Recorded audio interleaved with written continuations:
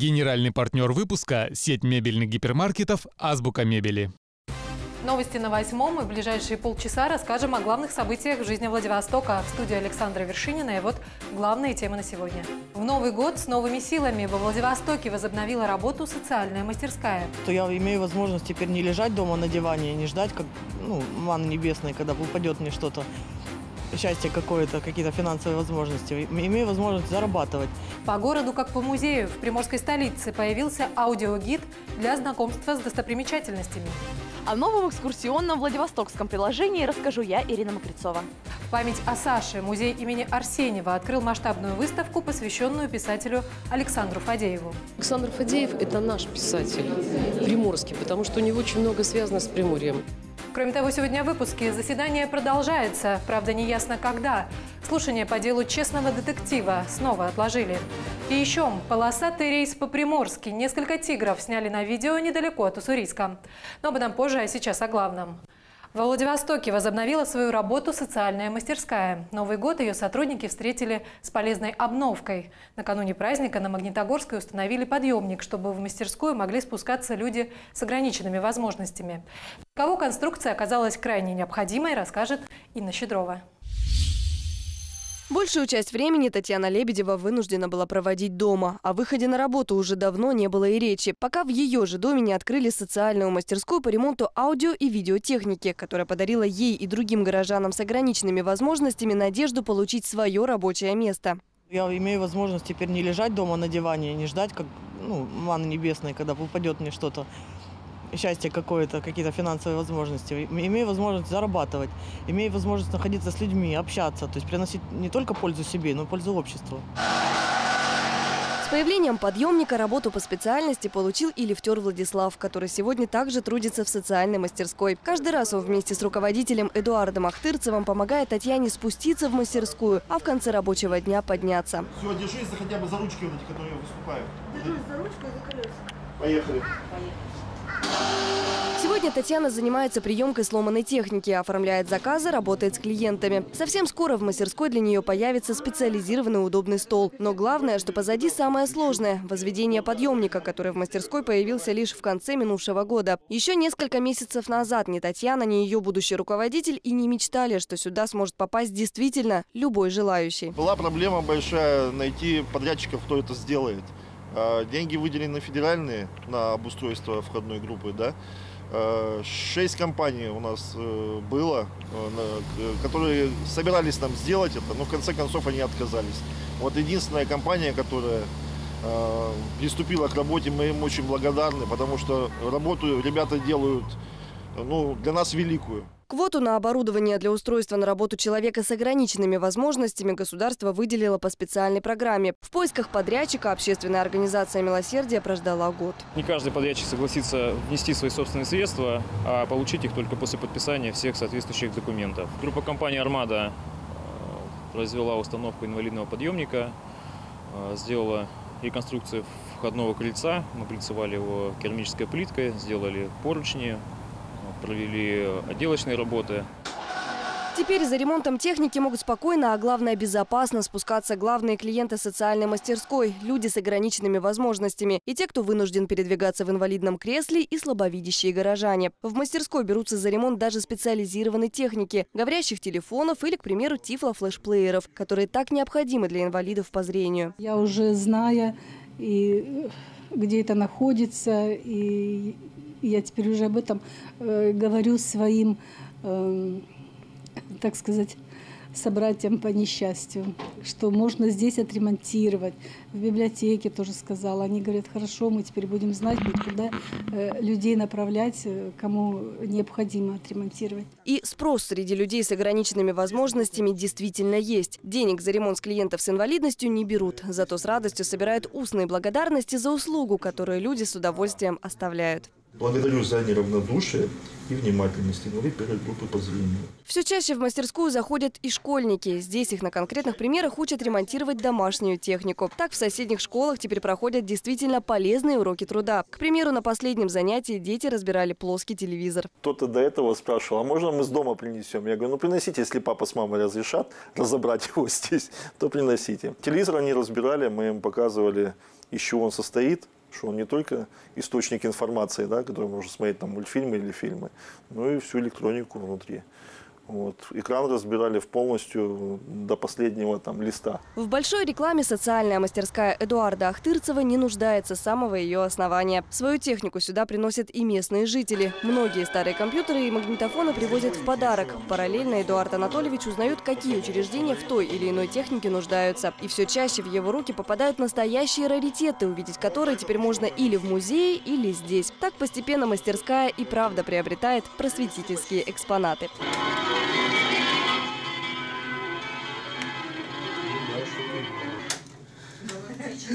Галактическая. Космическая. Инна Щедрова, Игорь Болтов, Андрей Макаров. Новости на восьмом.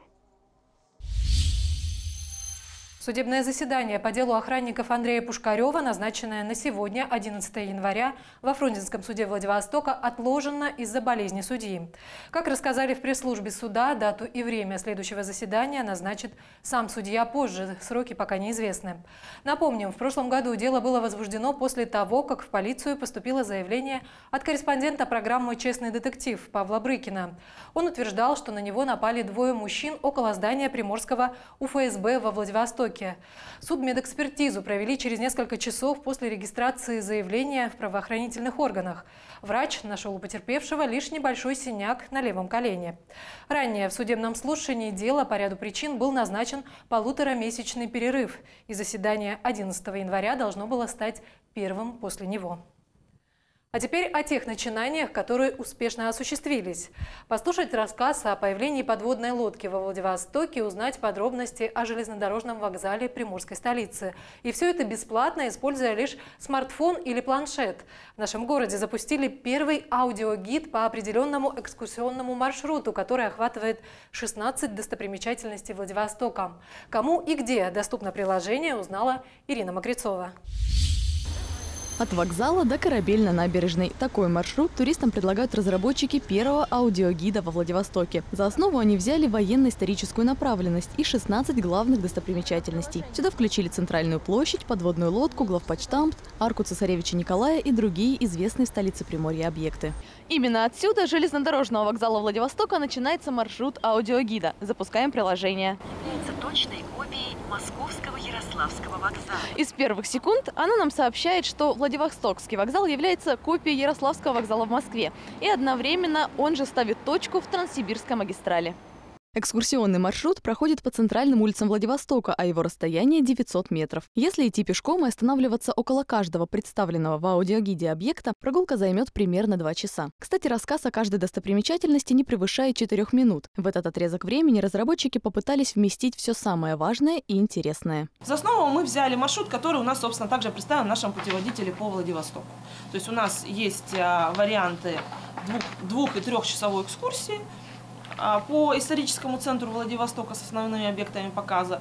И, собственно, они и были положены за основу. Аудиогид с названием «Владивосток. Город у моря» появился по инициативе Туристско-информационного центра Приморского края. Ориентировались они в первую очередь, конечно, на гостей города. Причем как из России, так и из-за рубежа. Сейчас, правда, аудиогид работает в тестовом режиме, только на русском языке. Но уже в этом году экскурсии планируют перевести на английский. Данное приложение для индивидуальных туристов. То есть раньше они ходили с буклетами и смотрели просто, а теперь они могут и послушать, и узнать что-то. К слову, аудиогид по Владивостоку – это не самостоятельное приложение, а так называемый подзаголовок приложения туристического портала. Скачать его можно бесплатно на все операционные системы, а можно и не скачивать, просто прослушивать аудиофайлы на сайте портала. Кстати, появился аудиогид в конце декабря прошлого года и еще не успел обрести популярность. Достопримечательности Владивостока вообще моя любимая тема. А вы пользовались уже аудиогидом? К сожалению, нет. А будете? Пользоваться аудиогидом? А вы сделали такое предложение? Не мы, есть, уже запустили такое ну, Значит, однозначно буду пользоваться. На создание аудиогида разработчики потратили почти месяц. За это время собрали информацию краеведов, экскурсоводов и членов географического общества, а также сделали необходимые фотографии каждого представленного объекта. Далее отправили тексты к достопримечательностям на озвучку в Москву, а потом уже загрузили все в интернет. Одним маршрутом разработчики ограничиваться не собираются. В ближайшие полгода планируют запустить еще один, на этот раз культурно-развлекательный. Ирина Макрицова, Дмитрий Сухоруков. Новости на восьмом. А сейчас пришло время запустить наш ежедневный опрос. Сегодня мы спрашиваем зрителей, а вы бы воспользовались аудиогидом для прогулки по Владивостоку?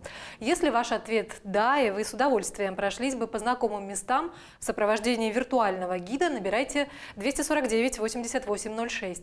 Если же вы и так неплохо знаете историю нашего города и не нуждаетесь в дополнительных сведениях на эту тему, звоните 249 8807. В конце выпуска мы узнаем, как на наш вопрос ответить ответил Владивосток, а пока к другим темам. Общероссийский народный фронт назвал недостаток жилья для детей-сирот одной из самых острых проблем Приморья. По расчетам экспертов ОНФ, при условии рационального использования нынешних бюджетных средств можно обеспечить квартирами около 600 сирот в год, и этого явно недостаточно. Ранее прокуратура Приморья поставила на контроль ситуацию с обеспечением жильем детей-сирот в регионе. По данным ведомства, в очереди сейчас стоит более 6 тысяч человек. В то же время ежегодно осваивается не более 50% выделяемых из бюджета средств. Специалисты подчеркивают сложность задачи. Для того, чтобы решить проблему и обеспечить жильем всех стоящих в очереди без учета новых претендентов, необходимо около 6 миллиардов рублей и не менее 10 лет. А тем временем городские коммунальные службы подводят итоги минувшего года. В 2016-м во Владивостоке более 10 километров старых изношенных теплотрасс заменили на новые. Основные ремонтно-восстановительные работы велись по улицам Терешковой, Адмирала Юмашева, Баляева, Приходько, Жигура, Второй строительной, Невельского, Военному шоссе, Интернациональной и Нерчинской. Если говорить о характеристиках, то новые трубы, более широкие в диаметре, выполнены из прочных современных материалов, что, по мнению специалистов, позволит избежать аварий и порывов на долгие годы вперед. Повреждения на старых теплосетях стараются ликвидировать в теплое время года. Так, в ходе весенних и летних гидравлических испытаний в 2016 году специалисты выявили почти 900 повреждений, и все они устранены. Работы по замене старых теплотрасс на новые продолжат и в 2017 году. Подобные работы выполняются ежегодно. Это позволяет поддерживать в рабочем состоянии городские теплосети, многие из которых проложены десятилетия назад, сообщил директор МУП ФПС Владимир Латышев. Сейчас мы прервемся на рекламный блок, а после расскажем вот о чем. Кто и как нарушает. На дорогах города продолжается операция «Перевозчик». В память о Саше музей имени Арсеньева открыл масштабную выставку, посвященную писателю Александру Фадееву. И ответы наших зрителей на вопрос, а вы бы воспользовались аудиогидом для прогулки по Владивостоку? Генеральный партнер выпуска – сеть мебельных гипермаркетов «Азбука мебели». Маловато, понимаешь? Маловато будет! Весь январь в магазинах Азбука Мебели первая грандиозная январская распродажа мебели. Скидки до 40% на всю мебель.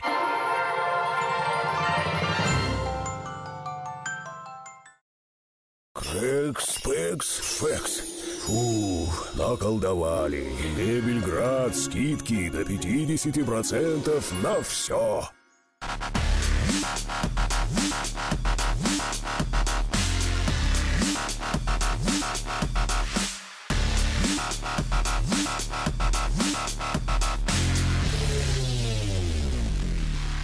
Оптом и в розницу огромный выбор семян овощных и цветочных культур, горшков для рассады и более 15 тысяч наименований товаров для сада, огорода и вашего дома. Банка.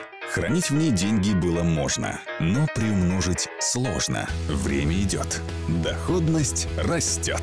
Кредитный потребительский кооператив «Тихоокеанский сберегательный». Ваши сбережения застрахованы. Эффективная корейская климатическая техника для чистого и свежего воздуха в вашем доме. Спрашивайте в магазинах Кореал. Настоящая Корея. Вы еще не проснулись? Мы вас разбудим. Каждый будний день на радио Лемма шоу «Первая пара». С 7 до 10 утра. Город просыпается с нами.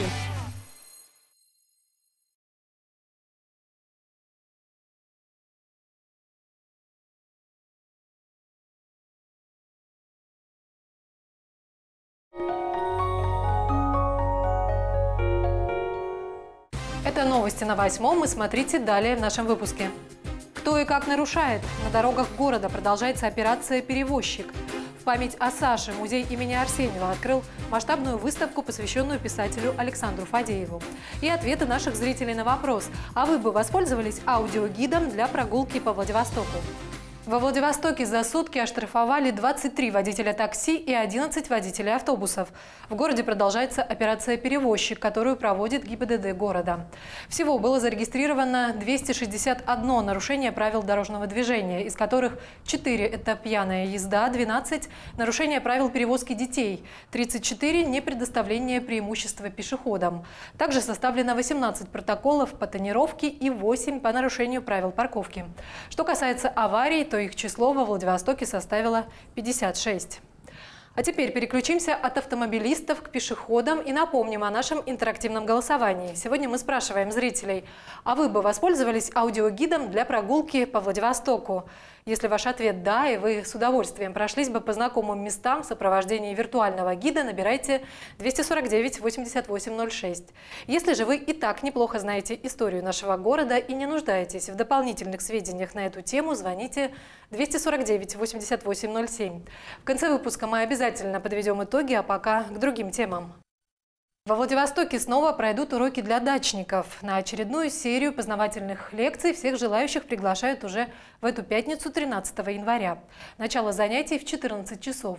Встреча состоится в актовом зале административно-территориального управления Первореченского района по адресу улица Ильичева, 15, второй этаж. Лекция будет посвящена вопросам разведения лиановых, актинидии и лимонника. Принять участие в мероприятии приглашают всех желающих, вход свободный. На следующем занятии 20 января садоводам и огородникам расскажут об уходе за розами, 27 января о выращивании георгинов, а 3 февраля слушатели узнают о разведении тюльпанов. Свериться с расписанием занятий можно на сайте городской администрации. И о культурной жизни Владивостока. В конце 2016 года весь литературный мир отметил 115 лет со дня рождения Александра Фадеева. Писателя называют одним из символов Приморья, и сегодня музей Арсеньева готов об этом рассказать. В главном корпусе на Светланской открылась выставка, посвященная воспоминаниям о юности Александра Александровича. Называется она «В память о Саше». Экспозиция покажет писателя в начале жизненного и профессионального пути. О том, с кем дружил автор, кого любил и за что боролся, расскажет Валерия Белоус. То есть на моей памяти это, наверное, первое а, вот такое возвращение внимания к фигуре Фадеева. Жизнь и творчество писателя Александра Фадеева журналист Василий Авченко изучает долгие годы. Он написал об этом книгу, и произведение уже разлетается среди читателей Москвы. Во Владивостоке презентация пройдет в ближайшее время. Пока же несколько слов о Фадееве вот так, вживую. Повод особенный – открытие выставки, посвященной юности Александра Александровича. Если в советское время Фадеев считался признанным классиком, такой почти бронзовой фигурой, и, возможно, даже перекормили в каком-то смысле, это уже вызвало отторжение у школьников, то потом в перестройку и после перестройки а, пошел обратный перекос. Сначала Фадеева объявили таким кровавым сталинским палачом, а потом вовсе забыли, как будто такого писателя вообще нету. И сейчас новое поколение, которое уже не носила, как я, пионерских галстуков, э, уже может и не знать вообще, кто такой Фадеев. В конце 2016-го Александру Фадееву исполнилось бы 115 лет. 60 лет прошло со дня его смерти. Фадеев считал себя коренным дальневосточником, хоть и родился в Тверской области. А все потому, что вырос в Чугуевке, а юность провел во Владивостоке. Будучи взрослым, Фадеев вспоминал.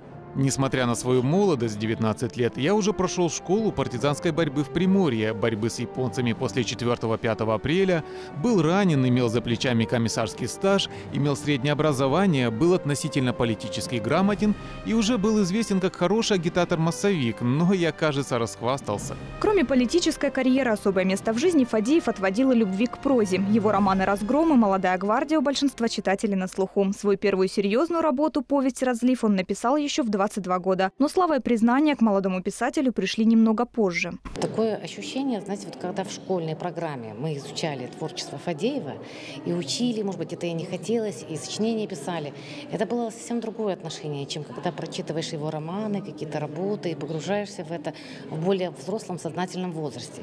Тем более вот в какой-то момент я увлеклась историей нашего края, города. В прошлом году я закончила в музее Арсеньева школу экскурсоводов.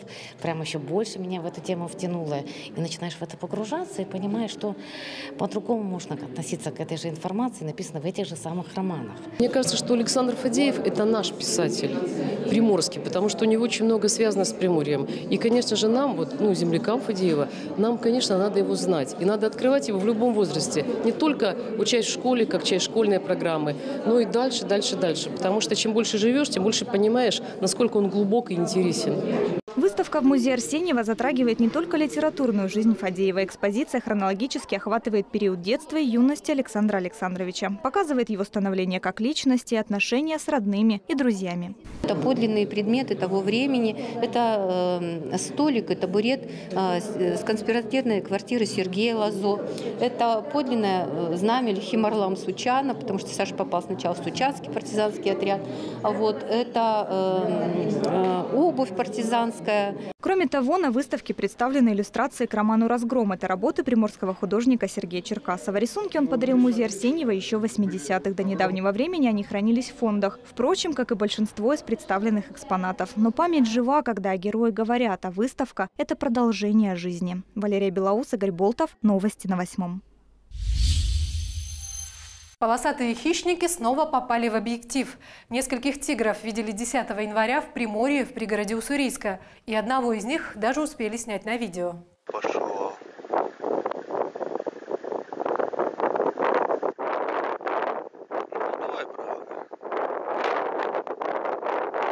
Часом ранее на этом же месте видели тигрицу с детенышем, однако запечатлеть их на видео очевидцам не удалось. И к новостям спорта. Молодежка «Адмирала» сыграла в догонялке. Хоккеисты «Тайфуна» пытались обогнать атлантов из Подмосковья, но что-то пошло не так. Тем временем юношеские команды «Адмирал-2004» и «Адмирал-2005» борются за выход в элиту. Основной состав готовится к домашней серии игр. Все подробности в нашем спортивном обзоре.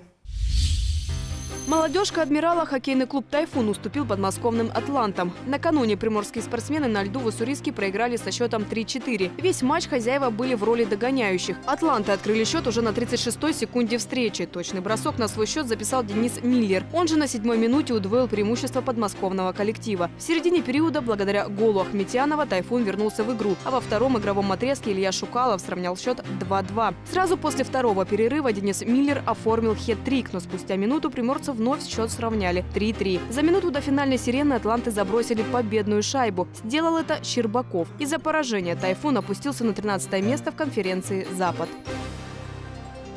Юношеский состав хоккейного клуба «Адмирал» продолжает свои выступления на первенстве России «Дивизион Сибирь-Дальний Восток». Наши спортсмены стартовали в рамках первого этапа в ноябре. Тогда «Адмирал-2004» досрочно выиграл группу «В» и перешел в компанию более сильных соперников из группы «Б». Сразу после новогодних праздников юные моряки отправились на второй этап престижных соревнований. Подопечные Сергея Наконечного в Барнауле проведут 7 встреч с 5 по 12 января. На данный момент после пяти туров в активе моряков три победы при двух поражениях. Несмотря на это ребята еще сохраняют хорошие шансы на повышение в классе. Для этого нужно занять первые два места в группе. Сейчас «Адмирал 2004» на третьей строчке. Ребята на год младше тем временем бьются в Северске за выход в группу сильнейших. После пяти матчей занимают четвертое место и сохраняют также шансы на выход в элиту.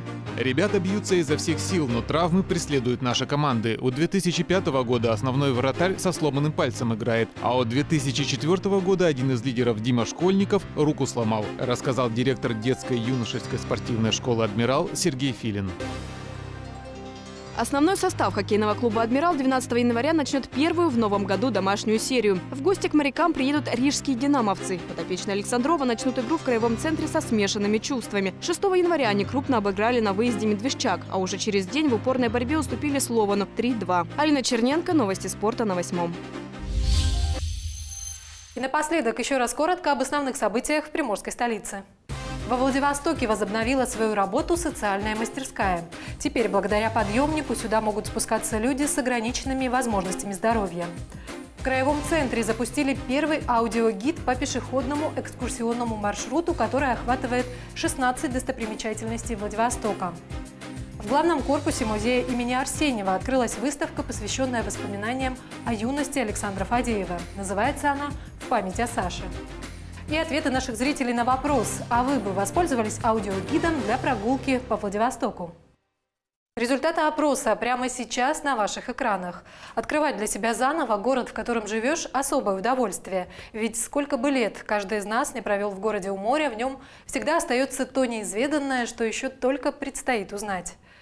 Сегодня на этом все. Есть что добавить. Заходите на страницы восьмого канала во всех социальных сетях. Или звоните телефон редакции 249 88 12. И уже завтра вы можете стать авторами новостей. Хотите о чем-то рассказать городу, мы поможем. Восьмой канал. Главное – Владивосток. И еще 11 января в России отмечают День заповедников и национальных парков. Заповедной системе страны исполняется 100 лет. Именно поэтому 2017 в России провозгласили годом особо охраняемых природных территорий. Ровно 100 лет назад, 11 января 1917 года, на берегу озера Байкал был основан первый в истории России государственный заповедник – Баргузинский. Работу он продолжает и по сей день, а вместе с ним свой профессиональный праздник отмечают и особые зоны, расположенные на территории Приморья – земля леопарда и кедровая спать. В связи с этим специалисты нацпарка создали видеоролик, который во всей красе показывает обитателей этих территорий. Предлагаем посмотреть его прямо сейчас, без комментариев. Сразу после подробный прогноз погоды в студии работала Александра Вершинина и увидимся на восьмом.